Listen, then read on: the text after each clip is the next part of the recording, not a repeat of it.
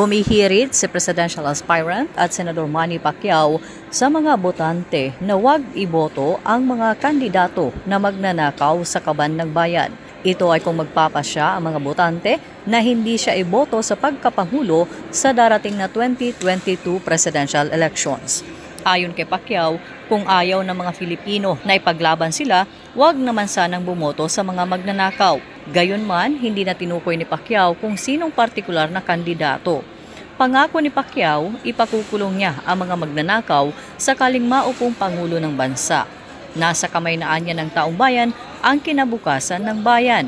Kung hindi anya kayang iboto ang isang Manny Pacquiao para sila ay ipaglaban, huwag sanang bumoto sa mga mangungupit sa pera ng bayan. Kailangan anyang pumili ang mga botante ng isang tapat na leader. Apila ni Pacquiao, bigyan sana siya ng pagkakataon para maipakita niya kung paano maging champion sa pagseserbisyo.